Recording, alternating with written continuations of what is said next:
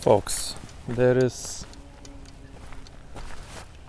I don't want to show you plate numbers but there is on this little parking lot here.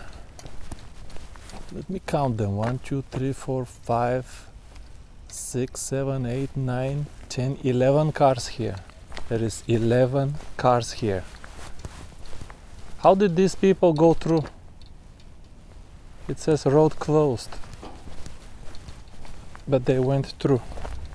I saw just now 15 people jump out of here. 15 people. That's why i don't like these spots. And believe it or not that was the original reason why i bought my boat.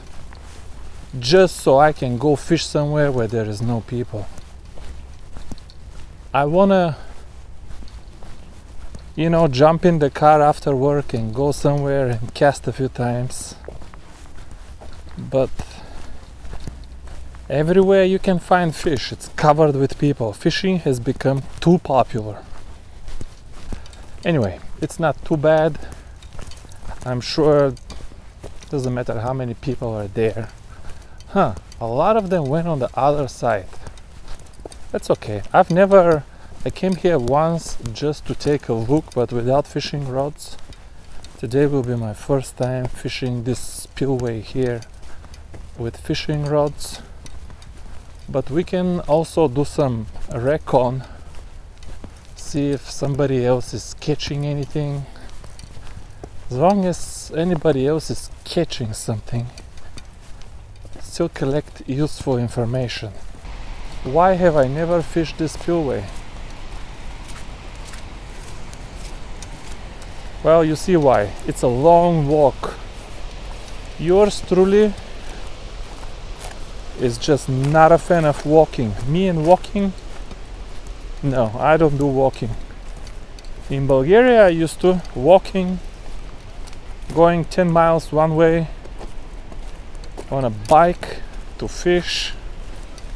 I think the longest I've gone fishing with a bike was 20 miles one way but we slept over there and come back on the same day on the next day. Okay, I don't see fish here uh, people here on the rocks. Just gotta be extremely careful because I'm getting old and falling down right now can take me out out of uh, service for a long time. Whoa, whoa. Yeah, this is a little bit too much for me. I'm not exactly athletic. Wow, I want to fish by this wall though.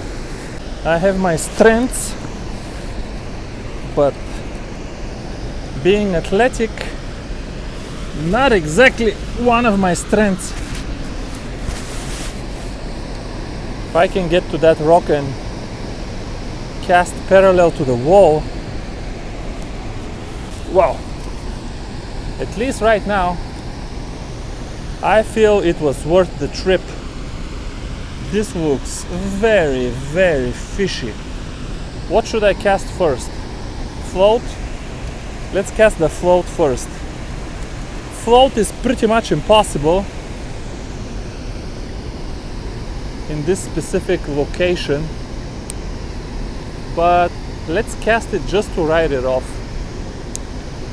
Float fishing is so impossible here that I might actually cut it out and put it in my baggie and just tie a big lure over there. Just tie a big lure and try because this this rod is very long I can get some distance. I think I have one, just one two gram jig head. Just one two gram jig head. I don't know if I got a bite over there. The float sank just for a second. I, I thought it sank, but it might have grabbed a rock also. it's not out of the question to have a a few bluegill by the wall here. Man, I need a at least a flatter flatter surface. What? no way. Fish. First fish, folks. Oh my god. I was looking for a place to step and was not focused on the fish catching thing.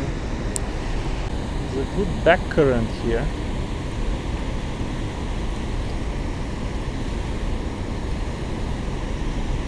Mm, there's another one. We're catching this one. We're landing this one. Oh gosh.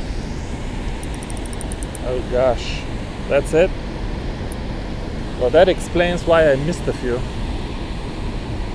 That explains why I missed a few. Man, this is really good for bait here. If I cast a big float anywhere, this is really good for bait.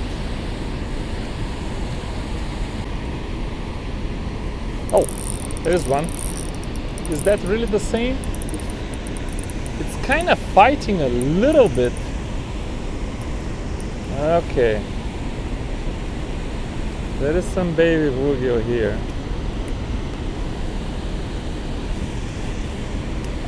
There is some baby bluegill here. That's not going to be very exciting. Can I cast right here? There is a little bit of slack water right here too. This is kind of snaggy though. Yeah, I snagged. No, that was a fish. I just dropped it there. I just dropped it there.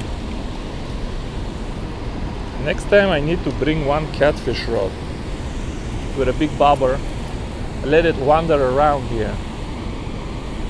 Where can I cast folks to try this is pretty flat.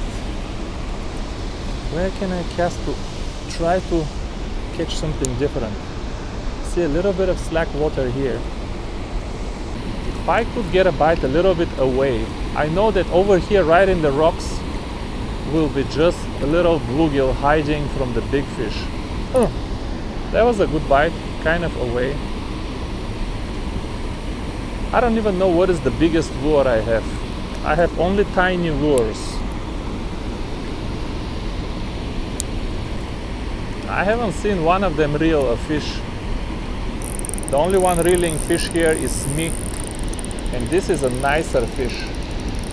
I knew there's gotta be one or two different fish here. Listen the difference of this drag. The slow clicks. The slow clicks compared to before. What else could it be? What else could it be? But you know what? We will take him. We will take him. Hmm. Got you this time. And these are just perfect for bait. If I had a big float, if I had a big float with a big hook, just let it drift anywhere you want with a bluegill. There is no telling what you're gonna catch. I feel I have exhausted the potential of the BG1 jig under a float. Let's see what we can concoct here. I don't know, should I even cast the one gram jig head? Should I even cast that? Let's try. Let's not be judgmental. Let's give the one gram jig head a, a chance. And then we'll tie the then we'll tie the 1.5. There is a fish. Even with the one gram.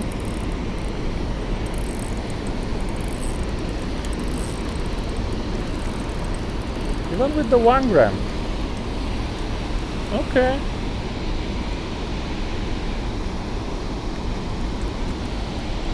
That's a little better than the customers I've been having on the float. But again, in the fast water, nothing. Or is it nothing? Let's try right in the fast water.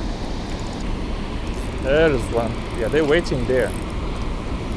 They're waiting there, but we know what this is. Okay, let's. I'm sorry. I know, I know. Your patience is completely exhausted. Let's try to tie something bigger. I'll show you what is the biggest lure I have with me right now. I just did not get ready to fish the spillway. Let's see what is the biggest thing we have biggest thing we have is this jig head right here. We're gonna tie this one and a half gram and we'll see what kind of lure we have. These are all of my lures. Whatever I have here I put one of everything. What you see here is what I have. I'm gonna start with the completely white worm. That looks incredible for these conditions I never use the head, which you should if you fish for trout. I just never do.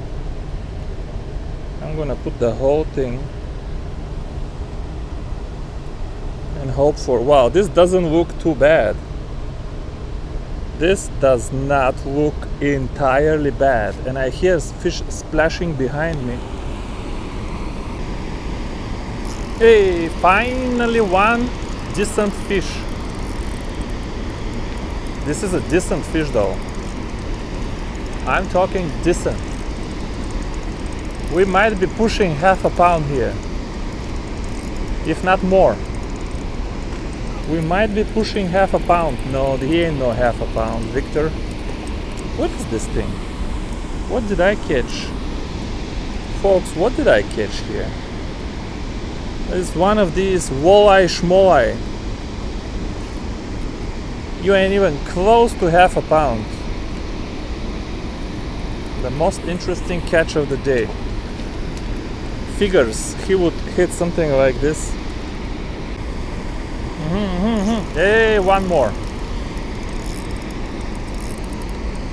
The bite is disappointingly slow for the one and a half gram jig head with this Berkley worm I should be getting bites on every cast but I'm not even getting bites on every cast. Forget about not getting fish on every cast. Why am I not getting bites on every cast? Oh there is one interesting fish. Yeah I was gonna switch to the float to get one last fish because it's getting dark but I know it will be a small bluegill. I really wanted one different fish for last fish of the video, which I don't even know if I'm going to publish this video because it's been really underwhelming. And this guy here too, really, really underwhelming. You know, beautiful jig head with the eye and with the Berkley worm. I cannot get a bite, folks. You don't know how many casts I had to do to get a bite.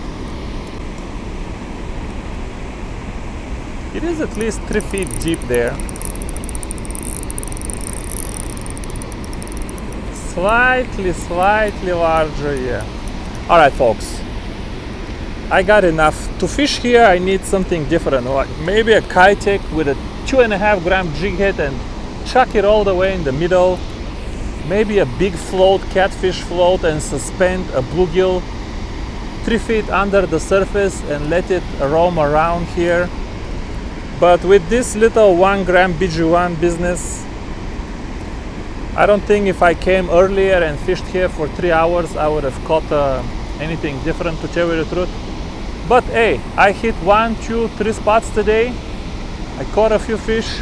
I rarely fish from the bank uh, these days so maybe I will post this uh, struggle video just for you know variety. And if I do post it and you watch it all the way to the end you get two of these uh, from me. You know how people ask you to give them thumbs up? If you reach the end of the video you get thumbs up Thanks for watching. See you soon. Disconnecting from beautiful Tennessee. Look at this. Look at this. beautiful Tennessee. Bye bye.